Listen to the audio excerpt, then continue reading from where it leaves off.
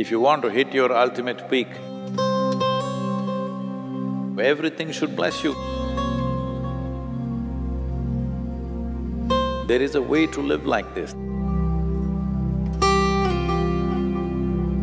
You must see how to use the tools to build yourself into a truly spectacular human being.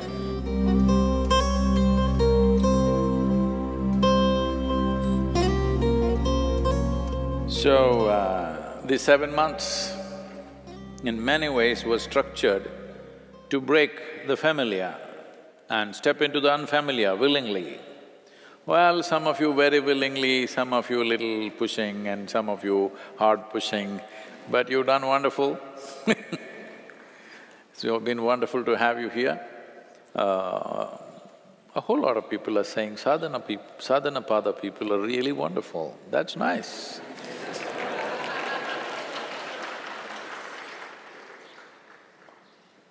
Because when you are on this path, it's very important that everything and everybody should bless you. If you walk on the ground, the earth should bless you, may this being grow, because you will need everything. If you want to hit your ultimate peak, you will need everything that you can get, every kind of support that you can get from anywhere. So it's very important that everybody should bless you, everything should bless you. If you go and sit under a tree, the tree should bless you. There is a way to live like this, that is what sadhana is. That's what sadhana is about, to become so much in tune, whether it's an animal or a bird or a tree or a blade of grass, it all feels close to you from their end, not from your end.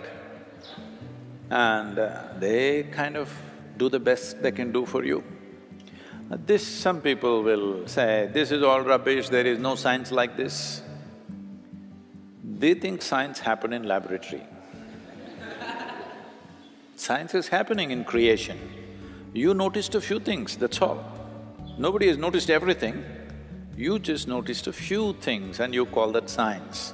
But it's happening, the phenomena of life is happening, not in the lab, in the world, in the cosmos.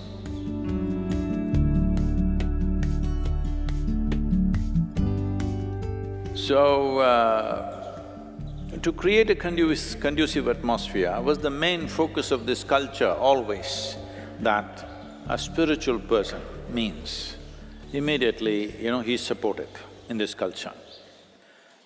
Like uh, you have seen some of the panels in the Dhyanalinga, you've seen those panels of the sages and siddhas of Tamil Nadu.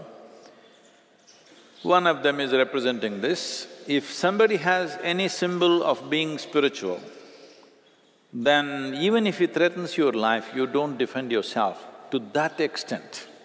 Even if people didn't have food to eat for themselves or their children, if they saw a person on the spiritual path, they first offered to him because they felt he's putting his life to better use than ourselves. That kind of atmosphere we need to create in the culture. It is not that today we have to go, uh, you know, to… we have to depend on people for food, we have other ways of doing things. I was at the economic forum, so everybody's busy meeting to meeting, we're all running from meeting to meeting, it's like five days of madness. But, uh, you know, everywhere there are a few coffee counters and like uh, snack kind of breakfast counters which is all kept there, people can go pick it up and eat anytime because there's no time to go for lunch, dinner, anything, we're just on throughout the day. I see, uh,